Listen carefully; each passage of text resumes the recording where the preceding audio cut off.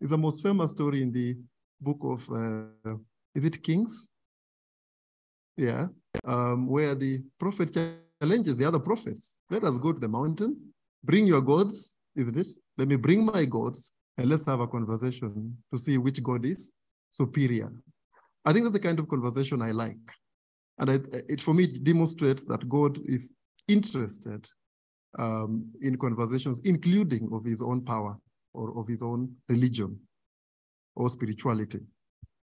But then as I thought about that also, I thought about Daniel. You remember Daniel, Meshach, and Abednego? And something happens there as well. I've thought about this for some time as I thought about religion and state. And what happens there is that religious laws are made against Jewish religion. And it becomes illegal Check. to worship check. Yahweh, for example.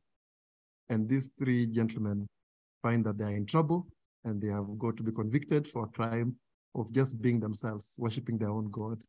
They end up in fire. And you, you know about the story, the fourth person appears and they're safe. But that's not what I'm interested in. I'm interested in the radical effects of a religious state, and I'm just leaving it there until I start my conversation. I also thought and reflected about Jesus and his story with Caesar. I think you all know the story, most famous story in the New Testament. Um, Jesus is asked um, about whether we should pay tax. I think that was a very serious, tricky question. And you know what he says? He says, Give unto Caesar what belongs unto Caesar, and unto God what belongs unto God. And I begin to get the idea that Jesus appears to be making a divide, you know, or, you know, Right. describing two spaces. One space being the spiritual realm, the other one Right, being the government realm. So Mm. this space of a citizen and the space of a worshiper. And in my view, Jesus is making a distinction between those. And some people have thought that Jesus then is the author of the secular state as we understand it today. Again, I leave it at that uh, because I want to get into the meat of my conversation. As I prepared for my talk today, I remembered uh, a prominent national leader that comes from my county, came from my county, uh, the kind of leader that was vocal, especially during the Lancaster deliberations and the multi- multi-party democracy movement. And his name was Martin Shikuku. The older members of this forum will remember him quite vividly. And Shikuku used to say, um, I, I- I saw Shikuku give speeches, including in Kakamega when I was younger, and he used to do something very interesting. He would come with sticks to his rallies, sticks. And if he had five sticks, he's going to have five points. If he had four sticks, there were four points. And he would throw those sticks, uh, those sticks at the audience um, and, and say that if I've said a lie, return the stick to me. You know? And Luhya legend has it that the sticks would disappear. Between him and the air, they would disappear. I don't know how true that is. I never tried to capture the stick in any of those occasions. So today I also have four points and I have four sweets. Okay? I'll throw them at the audience. And if I'm lying, also return them to me to eat. That's a good idea, isn't it? Amma, it's a good idea. So I only have four points, then I sit down because we're going to have a debate right there. Um, the four points are very simple and they are random points, but I think they make sense. First point um, is that there are four main models. If you look at the world, four main models. I'm not saying that's all, but I'm just saying models that have been used to guide state religion interaction. My own research shows that.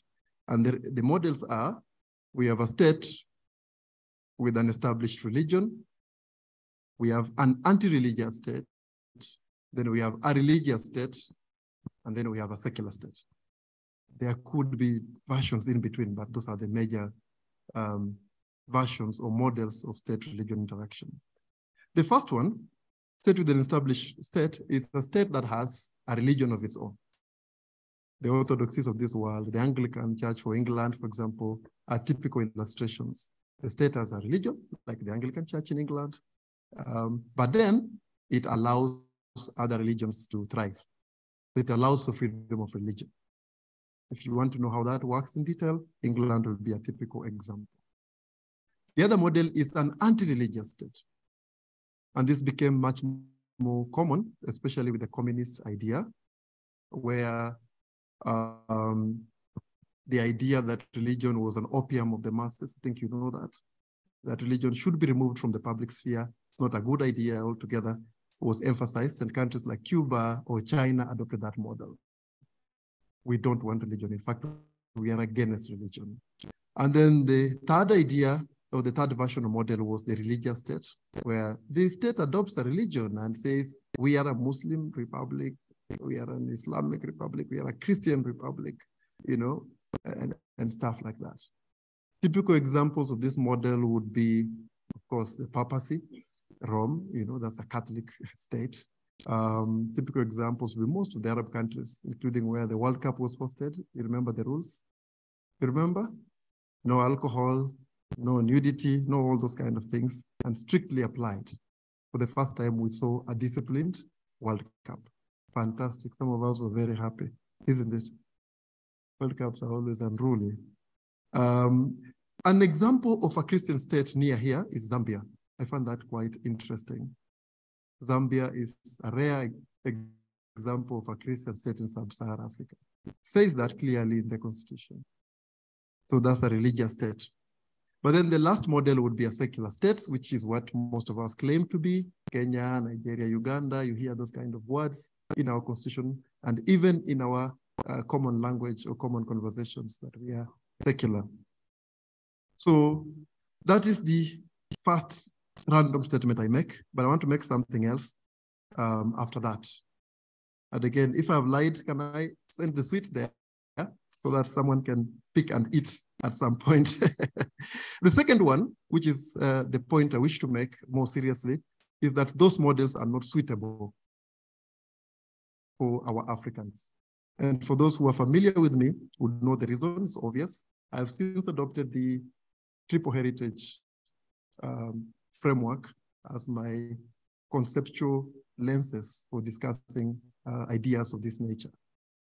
Um, again, for those who are familiar, the idea of triple heritage um, is the idea that was conceptualized by Professor Ali Mazrui, now late. I know that is Willy's mentor and friend, he was. Um, and Willie continues to keep a relationship with his son. I'm, I'm aware of that. Um, and according to Ali Mazrui, that the Africans will always be an amalgam, always be a montage or a collage, if you like, of three main civilizations. Uh, the first one is the Africans' own tradition. All Africans have a tradition.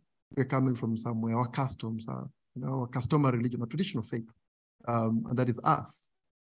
But the African has also, also interacted with the friends neighbors, you know, visitors, um, some who came with good intentions, others did not necessarily come with good intentions. We're talking about the Westerners, for example. Um, they came as traders, you remember? But some also came to colonize. They came as missionaries. They came as different things. But as they came here, they also came with their traditions, including specifically religion.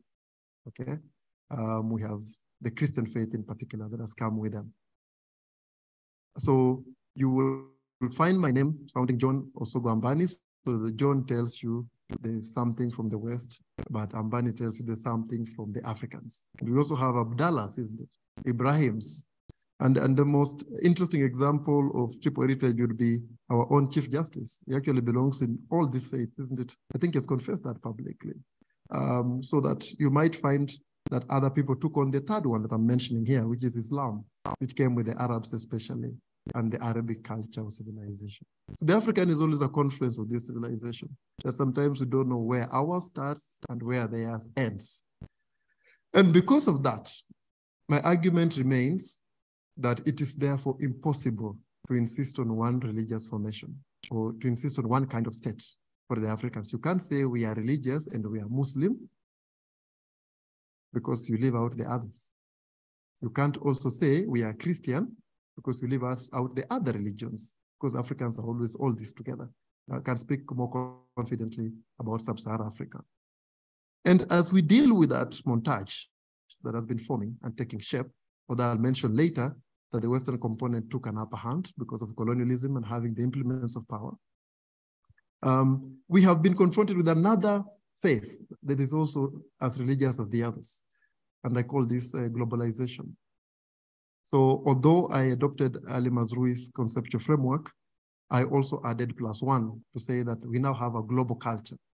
And the global culture is disturbing as it is confusing and confounding. Um, we have people who call themselves secularists, isn't it? Humanists, agnostics, atheists. You've heard all those things. And sometimes they don't necessarily conform to any of these religions. But they are with us here, okay? They live with us every day. And I don't know what to do with them if we insisted, for example, on a religious state or insisted on a secular state along the terms that have been insisted upon. And the terms are this.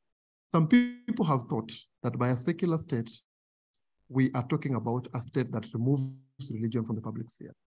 So they have sent Muslim girls away, isn't it?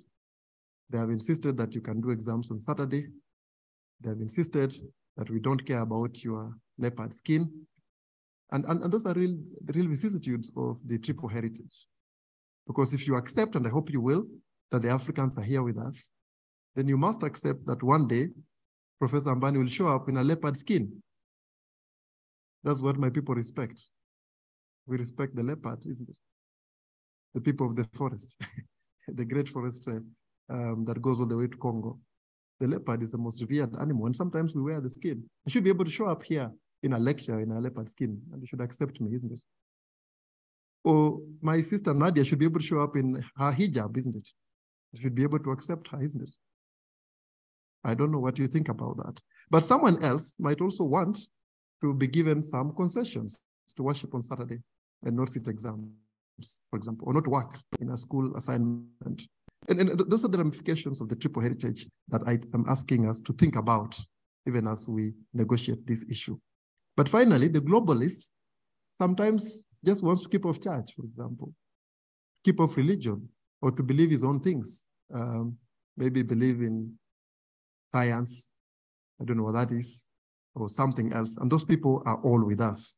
So in other words, I'm saying that if we study the composition of the African state or the African peoples, then the triple heritage would be a good guide in what to do uh, moving forward from that uh, four model that I've stated about. And I've said that the ones we prefer, especially religious state and secular state then, would not be very good for the Africans unless some modifications are done. That's where I'm going for the third point. But I want you to agree with me up to there that our composition as Africans denies capacity to obey the four models I've suggested, except with some modifications. Do you want my seat again? So this group can eat sweets if it reaches there. yeah. So having said that, I wish to make some suggestions on what we could do going forward. That's if you're convinced that we are different people, that we are a mosaic, a collage, I don't know what that is, but different cultures among us, and that for us to exist, we need to make certain things different from what others have been doing. So it can't be a religious state, it can't be a secular state unless modifications are made on that secular state, and that's exactly what I want to suggest as my third point. So my third point is that the way forward is to take two or so models that I can suggest quickly here. The first one was suggested by Charles Taylor. For those who have accessed my article, you can get the full citation. And I'm not talking about the politician. Uh, I'm sure those who are old enough know what I'm talking about. I'm talking about the scholar. And he talked about a certain trinity that is good for peaceful coexistence of civilizations and communities. And this trinity follows uh, those who do human rights, the three-dimensional call of the French Revolution. Right? Remember liberté, égalité, then fraternity. You remember something like that? So we start with liberties. We must allow for religious freedom. Liberties. Everybody being free to enjoy his religion. Everyone. Okay? Um, that's the first point. I've already mentioned that this might mean a system of accommodation and concessions. You, you know why? Because we are different civilizations in Africa. It might mean, uh, like it happened to me, I lived next to a mosque in Kawangware sometimes back. Uh, Senior Ongoya will know that. And in the morning, I think it was around 5 a.m., Allah Akbar, even when I'm very tired. it might mean just allowing that guy to do that thing in the morning. Uh, I'm sure you've also lived next to a deliverance church or evangelical church. And a day like this, this is Friday, isn't it? They might want to do a kesha. Do you want to make that concession? It's still a Mabati church, so they don't have money to make waterproof, soundproof, soundproof uh, sanctuary like we can here, you know? So you'll allow some praise and worship still at night and some prayers for speaking in tongues way past midnight. I don't know. I don't know how much concessions we're willing to make. I already mentioned uh, Mr. Ambani from Kakamega or Cyril Kubai, my son from Kakamega, showing up in a leather skin or leopard skin, isn't it? In a very important forum of the university. I don't know how you'll treat that, or in court. And, and I think when Willy was Chief Justice, he dealt with these kind of issues. So some concessions might have to be made, I think, um, in this system of liberties, so that sometimes they might step on our toes just a little bit, uh, but enough for us just say, okay, just go on. Um, unless, of course, it reaches criminal or, the, you know, it becomes an excess on our Bill of Rights on, on exercise of human rights. But I think some concessions and accommodation can be made under that limb of liberties. That's my point number one on that one. Number two is egalite, I said. So although we are different formations, can we accept that we can be free and equal? Is that acceptable? I don't know where you sit. Can we accept that although the Catholic Church owns nearly all the schools in Kenya, okay, um, there's a small church here that is starting up, maybe just one Mabati church, that's all they have. It's also equal to that one. But also, our traditionalists are also equal to the Pope's church or the Anglican church that colonized us, or that came with the colonizers. Okay? So let's see ourselves as equal to each other so that we don't look down upon the other. But I've suggested in my article that this limp might, must and should also mean um, affirmative action for those that have been left behind. I mean here that the Westerners, for example, had an upper hand during the colonial epoch. They got all the land in Karen. The Catholic Church owns nearly the entire Karen. Okay, they got all the schools. Up to now, they have all the schools. They have control of the board of governors. They determine policy at educational level. And then the African traditional religion, for example, Dini Msambwa has no space in those formal spaces. In fact, it was put down by law. We were told it was repugnant. Our traditions were repugnant until we authored the 2010 Constitution and introduced a different language altogether. So they might need affirmative action to be brought up. In my article, when you find time to see it, in case you have not, or in my book, you will notice that I refer to specifically to say the school curriculum. The main curriculum in schools in Kenya is Christian religious education and Islamic religious education. The other religions are not taught. Only in very rare situations, Hindu is taught, but many times there are even no teachers for the last two, Islamic and Hindu. So most of us were forced to study um, Christian education. Even African traditional uh, religious education was taught as part of Christian religious education.